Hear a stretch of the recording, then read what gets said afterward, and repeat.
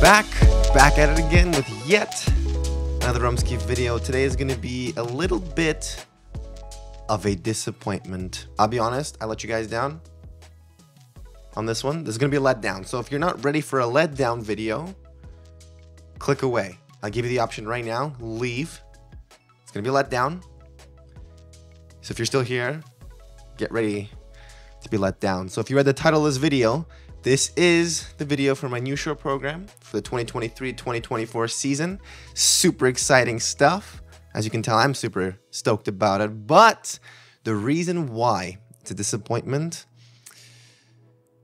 I don't actually have much footage of it. So nice. Thanks for watching. Catch you next video. I legitimately don't have much footage at all of the process of the choreography that I usually do. I'll be honest, during that creative week, I was pooped. I was beyond tired in every way imaginable. So I kept thinking, you know, how am I gonna make this video? What am I gonna do? Story time. This is the best I can do right now. So let's get on with the video. Long story short, I don't want to keep you guys waiting for too long. My short program music is by you knew that was going to happen. Stumbled upon the music and we weren't even sure if this was the year to do it. But then like I listened to it a couple times and I was like, this is the year to do it. I guess the gist is I wanted to take my skating to a new level, wanted to bring a different quality of performance to my skating. I was really stoked when Marie-France accepted my request for her to do my uh, short program. We reached out to Marie-France kind of late in the uh, choreography season, if you will. I think I reached out, I don't remember the exact dates, maybe like April-ish. Probably should give you some background. For those of you who don't know Marie-France, uh, she works out of Montreal at I Am, which is basically the world's center for ice dance. You probably know of a few people that have trained there. I probably don't even need to go down the list of all the ice dancers that skate there or have skated there. Honestly, just pick a team out of the hat.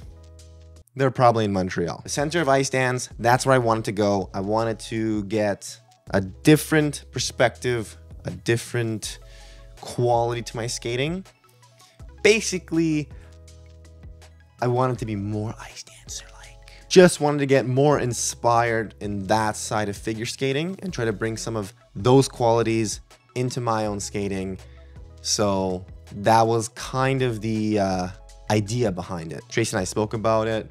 We had the music, we reached out to her, and it was a bit of a gamble because they're busy. You know, when you have like 20, I don't know, 20, 30 ice dance teams, junior and senior, their schedule is actually unreal. Like, I cannot believe how the thing runs as well as it runs, but it do. It's special. It's something actually like out of this world. We were just crossing our fingers, and apparently, there was some cancellation that I could just slip in, and it worked out. If it weren't for that cancellation, I probably still would not have a short program right now. Bit of an exaggeration, I probably would. The things lined up. Things are, are lining up this year when it comes to choreography.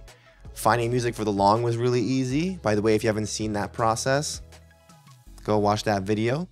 And then finding the music, we stumbled upon this music that we just like clicked with and we we knew who we wanted to work with. It was just coming down to will they want to work with me? Yes. yes. The answer is yes. Thank you, Marie-France and the whole team at I Am. It was actually like an incredible creative experience through that whole week. And I'll try to briefly explain to you guys how it was. And I actually like brought my camera and wanted to like share it with you guys. But at the same time, I was like living in the moment and just like soaking it all in. And I was like, this is something else. And then it just didn't. So packed my bags, took the six hour drive to Montreal from Toronto. Surprisingly, super easy.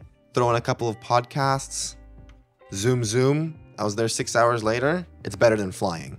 Definitely better than flying. And we just got to work. The creative process was different. So I worked with Marie-France and I also worked with Sam Chouinard, a very collaborative experience. For those of you who don't know Sam, he works at I Am basically full time, if I'm not wrong.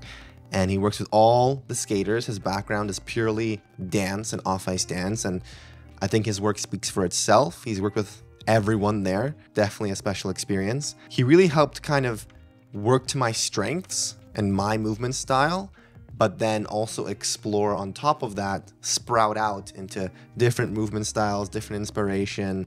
And um, this was all done off the ice. So we were playing with different movement off the ice, and we tried to come up with a basically an off ice dance routine to the music that I was gonna skate to. So that was like different than what usually happens with my choreography. Now, while we're making this off ice dance routine, I'd also go on the ice and work with Marie-France, map out the jumps, get some choreography going, get some creative stuff going. And it's kind of going at the same time. So we're working stuff off the ice and then working stuff on the ice at the same time. Then uh, day two came along. Then we started to kind of merge together. So then Marie-France works with Sam and brings some of the inspirations from off the ice back on the ice and we try to mix it together. Obviously, not everything off the ice makes it back on the ice just because, like, you know, blades and skating doesn't 100% translate. So we tried to modify it. A couple hours off the ice, a couple hours on the ice, a couple hours off the ice, a couple hours on the ice. And it was kind of like a 50-50 working with Marie-France and Sam. And then towards the end of the week, it was them together on the ice and we were working it out. And it is a very very special program. Every little detail was paid attention to. Every, even the music cut, the pacing, the wording, the lyrics we chose, everything is like, it's storytelling. I really love the theme for this year, and I really love the storytelling that's going on in it. It is deep, that it, it's some deep stuff. And I don't want to say too much. My whole perspective kind of changed once I kind of like watched how they worked and watched how all the ice dancers worked on the ice.